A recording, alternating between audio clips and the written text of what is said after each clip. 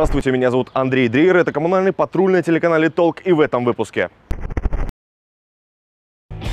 Бери не хочу. Людей до сих пор не расселили по программе аварийного жилья, хотя их дом уже разбирают на дрова. Это вам не погреб. Как должны содержать подвал многоквартирного дома обслуживающей организации?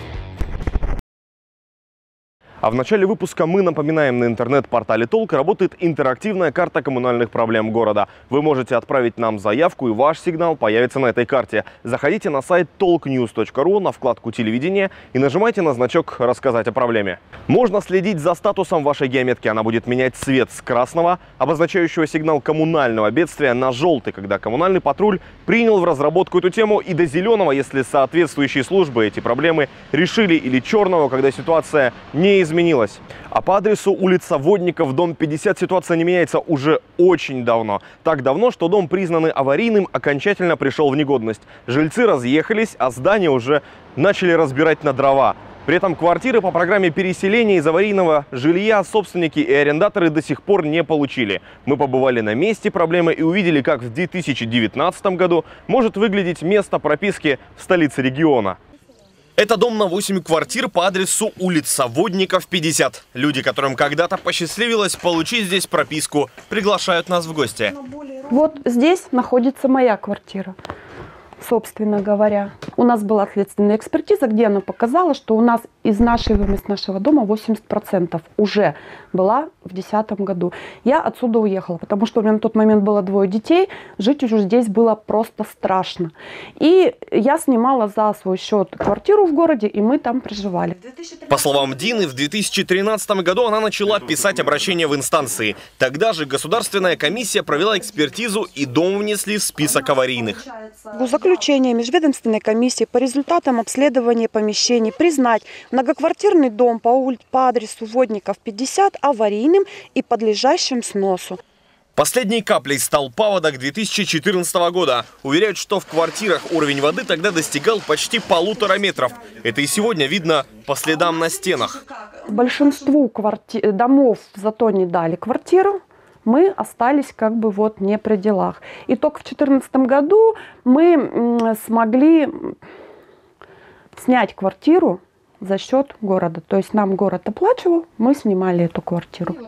Но не все жители этого дома смогли снять жилье на правах социального найма. Это, например, постель не бездомного, а собственника квартиры по адресу улица Водников, 50.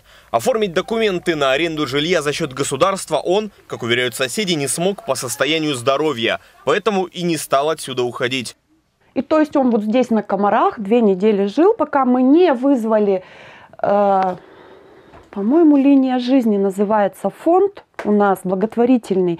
И его пока на месяц взяли, чтобы родственники как бы смогли оформить ему жилье, называется в аварийном фонде где-то. Ну, типа там комнатки снять или что-то еще. Дать не комнатки, а квартиры и не в аренду, а в собственность. Администрация города планировала уже в 2015 году. Тогда же планировали снести старое строение. Но работы тогда так и не начались. Жители попросили хотя бы законсервировать дом. В 2018 году в мае месяце мы ездили в свой ЖКХ и просили, чтобы наш дом сохранили, забили окна, забили двери. Ну, то есть, чтобы дом не растаскивался мародерами и так далее и тому подобное. Наше письмо принято, поставлена подпись, что принято но ничего не предпринято. Дом не сохранили и за работу принялись местные жители. Взломали двери и начали выносить оставшуюся мебель. Здесь стоял шифонер у нас оставался, рядом стоял сервант.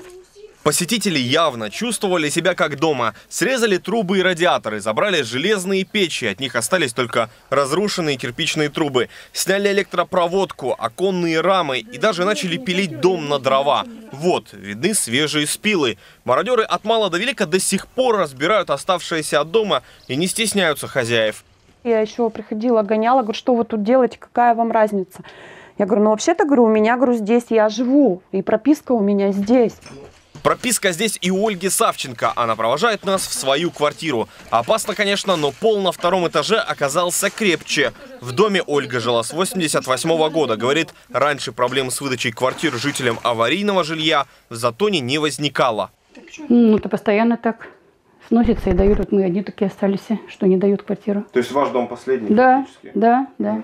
Нет, ну тоже под снос много домов, но наш, вот видите, в каком состоянии, не, не дают ждить, а тем более сказали, что вообще в последнюю очередь, потому что мы живем вроде бы как вот администрация нам предоставила квартиру.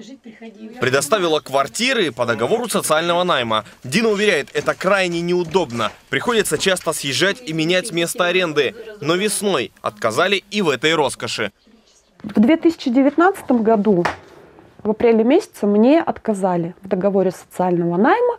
То есть я, по идее, должна была вернуться свою квартиру, в аварийное жилье. Вернуться я сюда не смогла, потому что уже она была практически в таком состоянии. Более того, чиновники администрации предложили Дине добровольно вернуть более 660 тысяч рублей, выделенных на аренду жилья за все предыдущие пять лет. В случае отказа деньги вернут через суд. Причина – в собственности нашли частный дом, который достался по наследству. Нам стало интересно, если собственность уже была, то почему чиновники нашли ее только спустя 5 лет? А если появилась недавно, то почему следует возвращать деньги за аренду жилья, начиная аж с 2014 года? Эти вопросы мы задали независимому юристу. Мы все считаем, что наследство приходит а, в момент, э, когда э, в Росреестре э, появились сведения. Но это не так. Наследство появляется в момент смерти наследодателя. То есть, потому что у нас не предполагается, что объект недвижимости в какое-то время может остаться безхозяйственным. В данном случае юрист предположил, что администрация заставила арендаторов вернуть деньги за предыдущие годы социального найма жилья, потому что люди не успели подать документы о том, что в собственности появилась жилплощадь.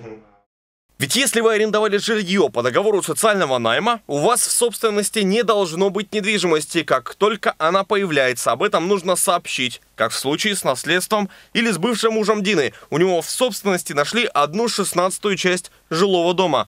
В администрациях объясняют, что э, вы можете получать исключительно, если у вас нет э, другого жилья. То есть, если человек говорит, что да, у меня нету, осознанно идет, но при этом знает, что у него есть, я понимаю, что некоторые говорят, что у меня там какая-то одна непонятная сотая, там еще какая-то, да, то есть там даже жить невозможно. Но, уважаемый, ну в данном случае, вот, к сожалению, наш законодатель не указывает, в какая у тебя собственность в долевом отношении, да, и а, где она находится. Но вчера уже после интервью с юристом мы узнали, что в администрации города должны снять все претензии к Дине. Уверяют, что требование возврата более 600 тысяч рублей было предъявлено по ошибке. Правда, успокоили чиновники пока только на словах.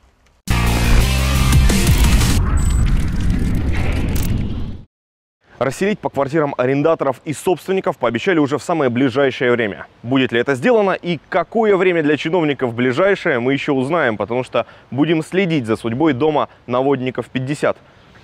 А вот что происходит с вашим домом? Наш следующий эксперт уверен, что за ним тоже стоит следить и особенно пристально, как ни странно, за состоянием подвала. Как обслуживающие организации должны содержать подвальные помещения многоквартирного дома? Попытаемся объяснить на одном примере.